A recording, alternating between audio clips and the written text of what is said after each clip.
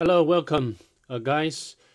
Uh, today we will be going on our series of One Hub. The box or the virtual machine would be ICA one, and uh, I will put the link into the description section below so you can download the image of this box. So before we started, before we start, sorry, excuse me uh, if you do not mind, please subscribe to my channel. I do appreciate your whole, your help and support. So now let's get started. To save the time, I have already imported into the virtual box and the IP address has been identified as 254. And I also done the Nmap scanning. From the Nmap scanning result, we can know the four open ports the first one is 22 and which runs SSH and the version information is here and uh, which doesn't have any vulnerability we can exploit. And the next one is 80 which runs HTTP service and the version is Apache. And also the next one, next two are for the MySQL. So I think the next thing what we are going to do is to do some emulation for the 80 port. Let's open up uh, our browser of Firefox. Let's input the IP address. Yeah, now Im immediately we got the prompt which we need to input the email and the password, but uh, of course we do not have such credentials. But I think you, you can notice in the middle of the page, tell us the CMS is Q, QDPM and also the version number.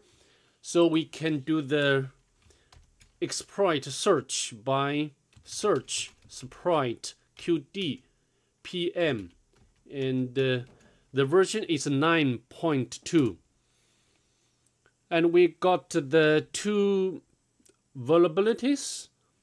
And uh, I think we can we may use the second one. We can make a copy or retrieve the the exploit description and by the command.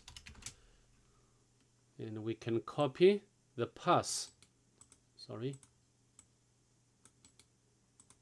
and paste in here. Now we have already got the exploit code or description. Maybe this is not code because extension is txt. We can cut the content, this one. So this one, uh, it says the, the password and collection string for the database are stored in YAM file. And we can access this file to and download this file to get the collection credentials. So we can copy this part and go to our Firefox. And we remove the duplicate slash and we can copy. And now we have already got the, we have already downloaded this database YAML file and we can move that file into our di working directory database and we can cut uh, this file. So it said the user username I think uh, this use this credential are used for the collecting database which is MySQL uh, for this target. And the username here and also the password. So we can use this credential to make a collection, right? We, we can MySQL specify the username is QDPM admin. And uh, the host is 254 and we can copy this password and paste in here. Now we have already logged in or connect it into the database. We can show the database. And uh, of course, I think uh, we need to use the first one, QDPM, to see whether we can get some useful information. We can show tables. Uh, so many tables. Of course, the the most interesting interesting thing for us is users, and we try to retrieve the credentials, and we can select star from the users table, but this table uh, is empty. So we can uh, maybe we can scroll up a bit. Maybe we next database we need to focus on or pay attention to its stuff. We can use the stuff. Now we have already changed the database to stuff and we can show tables to see how many tables in this database and we can select all of items from the login and we got the password and uh, such password uh, encoded in maybe the base 64 right? And also we can select the the user table. So the user name. so I think uh, of course in this database we didn't have we didn't get the email. If we come to the portal login portal we need to get the email and the password. But the password maybe we have already got that.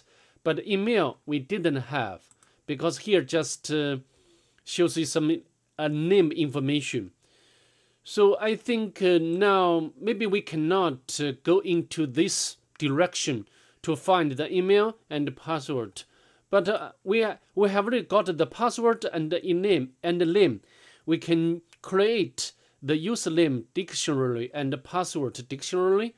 But before we do that, we need to decode the password, right? And let's quit the database. We can echo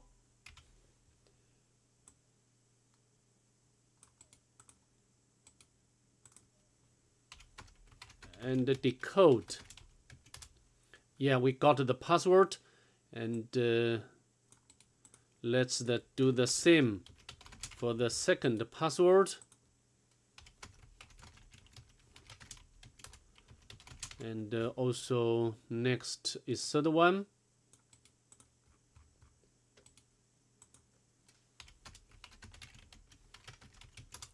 Yeah, and the next one, the fourth one.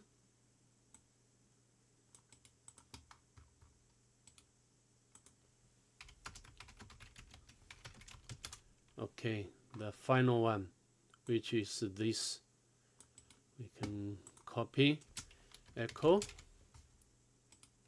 paste in here and decode okay now we can uh, use this uh, mouse pad to generate our password dictionary. We can copy and paste in here. And next we can copy and paste in here. And also copy and also copy this password and also I think we need to have five right oh sorry I missed this uh, first one yeah, we can save into the our working directory. I yeah, we can name as uh, pass dict. Yeah, save. And also we need to uh, save the username as user user dictionary. Sorry, Smith, Lucas, and this Dexter Dexter Mayer okay I think that's all. And we can copy to user dict and now we can use the Hydra very strong tool when we try to decrypt something and we can specify the user list and the password list and specify the IP address of the target. I think it's good to go. Yeah, because the password dictionary and the username dictionary are very small. So immediately we got the result and we can log in. Uh, for example, log in this one, SH, Travis. Okay, we need, need to remove the cached session first. And then log in and we can paste the copy the password and paste in here. Now we successfully log in as Travis. And let's list the content. We got the user flag and also we can do some local immersion like uh, MySQL but nothing found and also we can cut the history but nothing found. Also we can check if the user can run the command with root privilege. Of course we need to copy the password which is very very Nancy and complicated. But this user Travis may not run sudo on this target so maybe we can we need to switch to another user. We just now have already got two sets of credentials. We can go to the home directory and uh, switch to another user. Because we have already got uh, the password for this user also we can copy and paste in here this is the content and here is one note file yeah it seems to me that there is a weakness while accessing the system. system. As far as I know, the contents of executable files are partially viewable. I need to find out if there is vulnerability or not.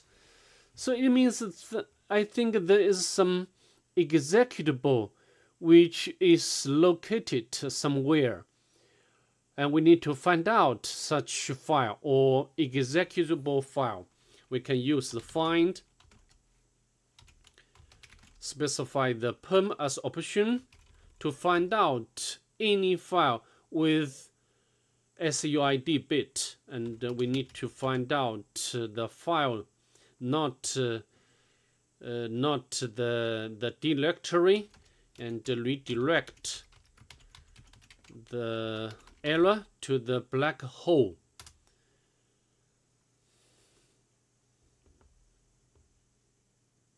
But uh, nothing found. But nothing found. Yeah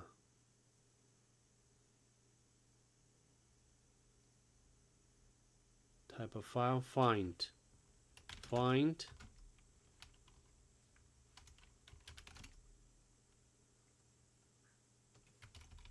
yeah I think uh, file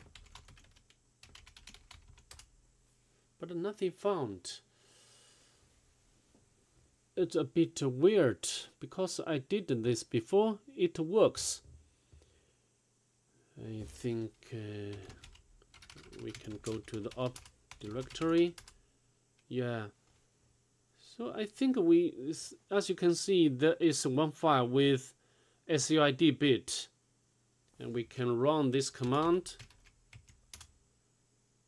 Yeah, it uh, server information. So I think this this command or file displays some information about uh, this target, like a firewall information, operating system information, and network information. But um, it looks a bit. I I I cannot understand why I cannot find out this command with the find. What's the problem? The find, yeah, find perm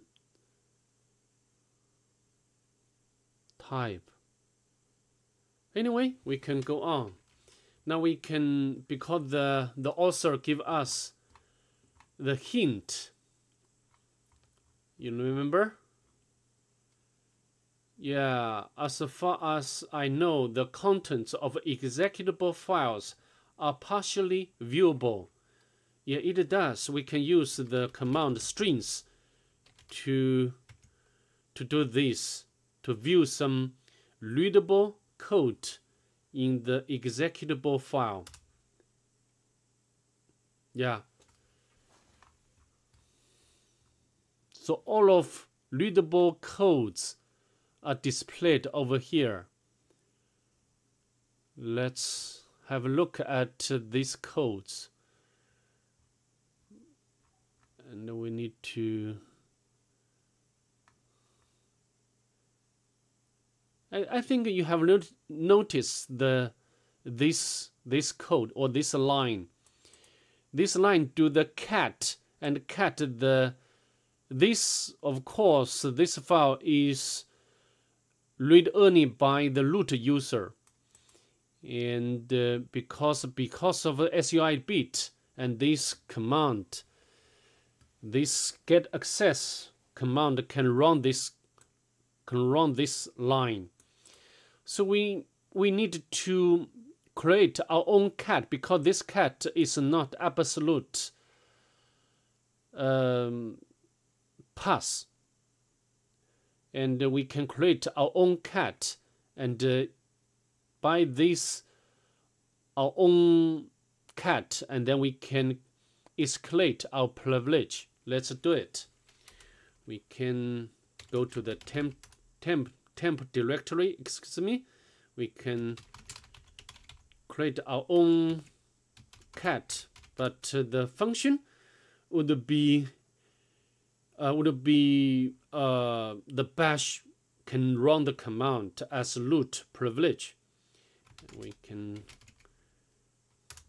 redirect to the cat and change the mode to make this executable but also we need to change the path variable add the temp or current directory to the path variable to the existing path variable. And now we can run that command again. Immediately we got the root shell and we can list the content of this uh, directory oh, we cannot use a cat. We can use more, right? Because now the cat, the function is different. Root. Yeah, we got the root shell. So anyway, we have already complete, completed this box. Got the root shell and got the retrieved the root flag. But uh, just uh, there is only one thing I'm not uh, satisfied by myself with myself. Uh, you know, normally we when we try to or attempt to find out the command with the SUID bit, and then we can use this command. But this time, I when I I did I run this command earlier, this command didn't didn't give us any result. Yeah, blank result. Mm, but uh, um, I do not know. So if you can find something weird for this command, please help me in the in the comment section. Okay, anyway, that's all I'd like to demonstrate in this video. I hope to see you in the next one.